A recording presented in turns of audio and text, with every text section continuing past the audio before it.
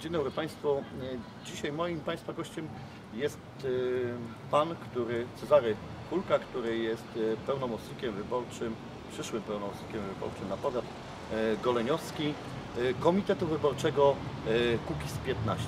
Dzień dobry Panu. Dzień dobry.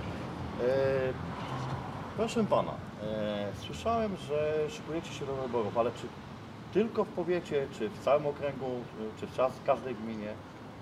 Y, No, jesteśmy ruchem społecznym, który chciałby zaktywizować y, mieszkańców y, zarówno i powiatu, jak i miasta i gminy Goleniów.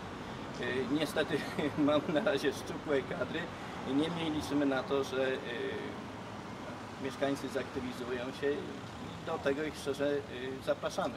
Proszę pana, jakiś czas temu mm, uruchomiona przez y, y, Wasze stowarzyszenie strona samorządu z Kukizem. Z tego co ja zrozumiałem, to Wy zapraszacie na swoją listę y, każdą osobę. Czy te osoby muszą być związane z Kukiz 15? Nie, absolutnie nie. Oczywiście korzystamy ze strony Cookies 15 Goleniów. Na tą stronę i w ogóle zapraszamy wszystkich ponad podziałami partyjnymi. Nie, nie są nam potrzebni ludzie uwikłani w jakieś koneksje partyjne. Są nam potrzebni ludzie uczciwi i z pomysłami na, to, na tą rzeczywistość. Czyli każdy człowiek, który się zgłosi do Was, powiedzmy, y, może kandydować z Waszej listy, tak? Oczywiście tak, no, zapraszamy wszystkich, począwszy od 18 roku życia, kiedy tylko mamy nabyte bierne i prawa wyborcze, do każdego, nie mamy górnej granicy. E, Proszę pana, w związku z tym, e, e, czy macie jakieś najbliższe spotkanie, gdzie można by było z Wami się spotkać? Oczywiście zapraszamy we wtorek o godzinie 18 mamy takie spotkanie w Villa Park. Zapraszamy wszystkich chętnych, którzy y, chcą kandydować y, do samorządu y, z ruchem Kukiz 15, jak i zapraszamy wszystkich tych, którzy chcieliby nas wspierać w wyborach. Czyli proszę pana, sam, sam pomysł na powiat, na, na, na, na, na jaką gminę macie już jakiś u- ukształtowany. Y, Oczywiście, że tak. Bez takich rzeczy byśmy nie, y, nie startowali, nie chcielibyśmy w ogóle y, zabierać wyborcom czas, bo byłoby to chyba bez sensu. E, Mam rozumieć, że e, z tego co pan mówił mi poza kamerą, to ten to pomysł ten zostanie przedstawiony kiedy indziej, nie chcę pan o tym teraz mówić, więc nie będę naciskał. Oczywiście byłby to start troszeczkę. więc nie będę naciskał, ale proszę mi powiedzieć, czy e, jak widzicie w tej chwili e, e, powiat jako, e, to, m, jak jest prowadzony, jak widzicie gminę Goleniów, jak jest prowadzona, e, czy widzicie jakieś błędy, czy, czy, czy mielibyście jakieś pomysły na, na, na, na?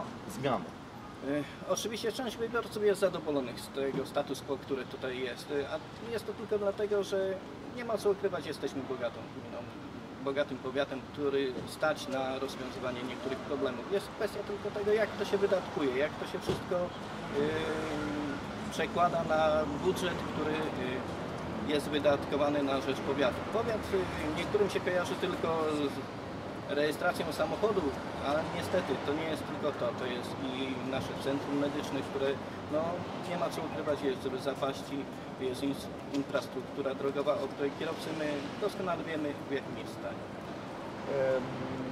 Wracając do e, list wyborczych, do, do, do e, Waszego chęci kandydowania, do zmian, które, które chcecie wprowadzić, czy macie jakieś tak zwane, w każdej jakimś ugrupowaniu są kom- lokomotywy wyborcze? Czy u Was takie są, także są takie lokomotywy wyborcze na listach? Czy znajdą się takie osoby na listach wyborczych? Czy, czy w ogóle startujecie z ludźmi, którzy y, chcą zmian i są na przykład zieloni, zieloni tak? Jesteśmy otwarci dla wszystkich. Y, Społeczeństwo y, powinno korzystać z obydwu praw, zarówno prawa biernego, jak i czynnego w wyborach. Uważam, że każdy jest na tyle mądry i na tyle ma fajnych pomysłów, aby tą naszą gminę i nasz powiat y, pchnąć do przodu. Nie, y, nie stawiamy tutaj sztywnych barier, że musi być jedna lokomotywa, a za nią kilka wagoników, które nic innego nie robią.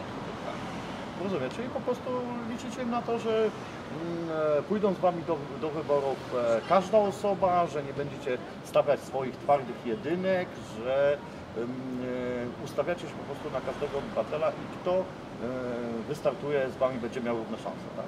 Tak, dla nas ważny jest każdy obywatel. Ważne jest to, żeby był uczciwy i żeby miał chęć pracy w samorządzie.